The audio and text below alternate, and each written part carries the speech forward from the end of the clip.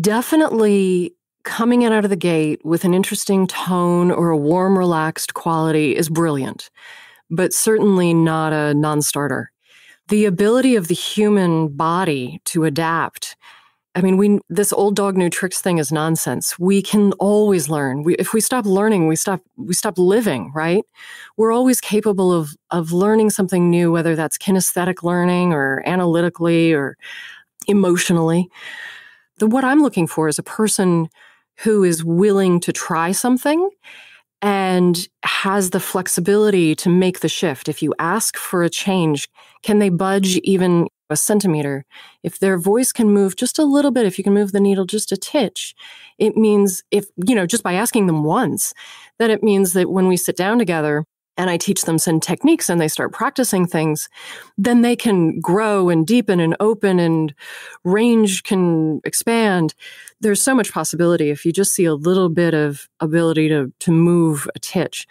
The other thing is, I think that's really important is you mentioned sort of like the unique characteristics. And I think this is really important because a lot of people think that to have a good voice, they need to sound like something else.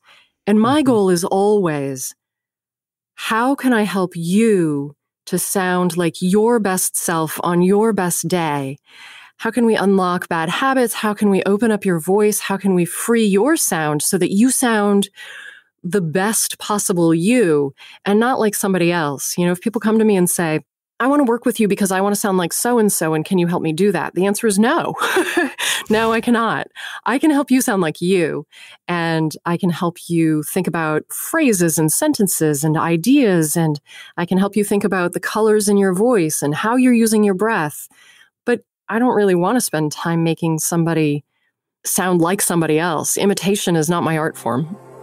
Subscribe to Outliers with Daniel Scrivner now in Apple Podcasts, Spotify, or wherever you like to listen to podcasts. And be the first to hear about new episodes and receive exclusive content by joining our newsletter at outliers.fm. I can't wait to help you level up and live your best life.